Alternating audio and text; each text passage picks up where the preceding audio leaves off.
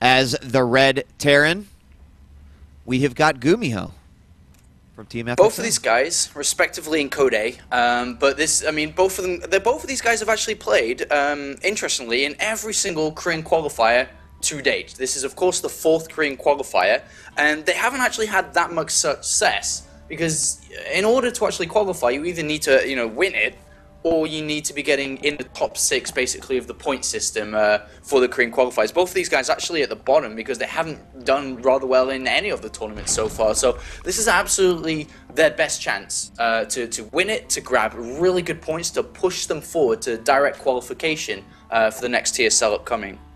Yeah, and I mean, when you consider who is in the Korean qualifier and the type of brackets that these guys are actually up against, I mean, it could look like any sort of major competition bracket. And that is what has been absolutely insane to me throughout the qualifier. Like, it's just absolutely shocking to see the names. And of course, you can go to teamliquid.net, and at the very top of the page, there is a brackets. But, you know, if I was to just throw out a few, uh, of course, we've got the two players that are here. Uh, Losira played today, Hart played today, Min played today, um, Polt played today, Revival, Anori.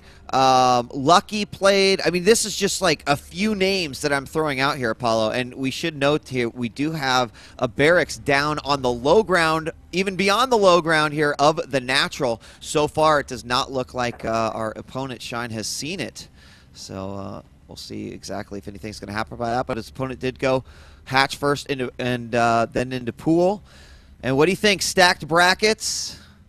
Yeah, incredibly stacked brackets. The top eight for today, incredible. Of course, we have this game now, Gumiho versus Shine, then Tasia versus Final, uh, and then Maru Genius, Hero Coca. It's absolutely an amazing lineup. But uh, yeah, we do have this proxy barracks outside. It's nothing intense, of course. It's just a no. single barracks. It wasn't late. I mean, it wasn't early, sorry, or anything. And of course, it can be very easily lifted up and put back. And with the Marine actually scouting or going back for the drone here, uh, should I say, is that Shine already knows there's nothing to be afraid of whatsoever because if the Marine was there, why isn't it at his base, of course? Right, right. And uh, the other thing that I've actually seen sometimes on these low ground racks is the ability to snipe this Overlord that's over on the far east side.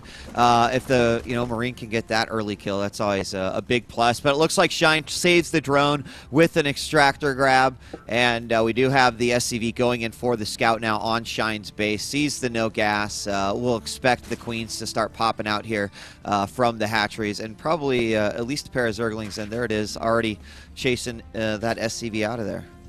And Gumiho's actually, look at that, smartly placed the command center on the natural, a third command center, because he knows inside the main base, Shine will be looking for that command center if it's alive, and that's why it's actually popped out the extractor. It does fall down, and now that third command center has actually been hidden. It's hidden information. Uh, currently so far, and actually a really good start here for Gumiho. Of course, not revealing something so crucial that could change the complete state of the game.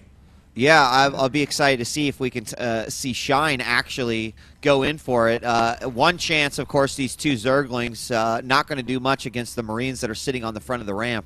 Uh, so it might be, well, I mean, sacking an Overlord at the natural isn't normally something that a Zerg is going to do, you know, potentially into the main to try to get some read there. But I think he'll have that well hidden for uh, at least a little while. The gases are up now, Apollo, and we should have speed started here shortly. Uh, aside from that, we don't have anything like a third hatch. In fact, we don't even, we had a third queen, but it looks like he's going to stop from there and just continue to uh, to drone up a little bit.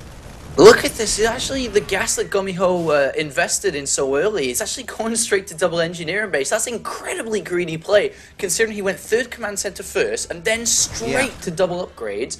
And right now, Shine has an option. Yeah, I was going to say to throw down a Roach Warren. He got double upgrade, uh, double gasp relatively early, and I think he actually will go into a Roach Baneling Bust from here. And with such early upgrades, I don't think Gumiho can hold. This is really, really difficult. He is going for a factory now, but his tanks will never be out in time for something aggressive coming out from Shine. No, they won't. And uh, aside from the Rarix wall that we're seeing come up here, uh, what can he possibly, you know, hold with? We do have the factory coming up right now, but uh, even the amount of Marines that he has out right is just is just measly compared to what could be sent out. Now, Gumiho does note that there is not uh, there's not a third gone down yet.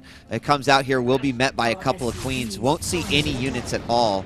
And although we don't. Do we have a baneling nest yet? It's just Not just yet, like it, it might go down. I mean, it still can go down any second now, actually, as he has the money for it. But if he doesn't, he can. Oh, that is actually going on the natural, so it has come down. It's a relatively There fast we go. structure to make, and he can easily, you know, get the lings over there and then Sure. morph as the Baneling Nest completes. But yeah, like you said, Gumiho very smartly scouted the third base, saw no third base. So now there's two options. It's either two base tech or an all in. That's the two options that Gumiho has lined up. But really, is are Protoss players two base teching, especially when they don't take gas early?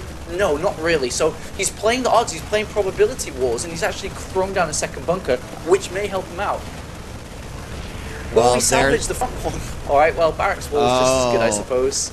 Wow, I thought he was actually going to continue to stack the defenses, but he decides to put up another racks instead. Uh, that Zergling actually gets some good information, sees that there's only the one bunker there. He's also going to throw down a supply depot. He goes ahead and lifts that orbital and uh, gets that ready to put down, but the inevitable's coming. We have a ton of Banelings in production right now, 13 uh, about ready to move forward, and he's going to try to snipe that racks before it gets done. Another bunker is going up. Uh, the repair is only getting hit by one or two of those SCVs on that forward bunker, and the Banelings are going to come in from behind.